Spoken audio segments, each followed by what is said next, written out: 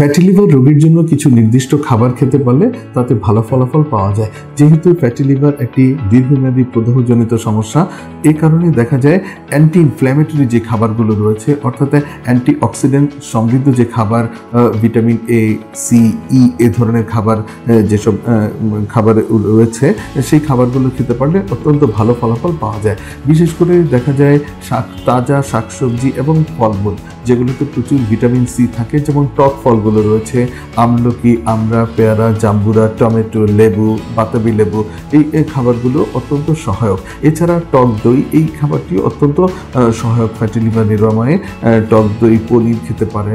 এছাড়া যে সবুজ শাকসবজি রয়েছে অথবা রংধনু রঙের যে শাকসবজি রয়েছে সেগুলো অত্যন্ত সহায়ক হিসেবে বিবেচিত। এছাড়া বাদাম খাওয়া যেতে পারে, যেগুলোতে প্রচুর ক্যালোরি রয়েছে, কিন্তু যেগুলো চর্বিবিহীন এবং দেহে অতিরিক্ত চর্বি জমাতে বাধা দেয়। এছাড়া ওমেগা থ্রি ফ্যাটি অ্যাসিড রয়েছে যেসব সামুদ্রিক মাছ, বিশেষ করে বড় মাছগুলো আয়ের মাছ, চিতল মাছ কাতলা মাছ, এই মাছগুলো অত্যন্ত সহায়ক এবং কার্যকরী। তো এই খাবারগুলো আসলে ফ্যাটি লিভার রোগীরা বেশি করে খেতে পারেন এবং এতে ভালো ফলাফল পাওয়া যায়।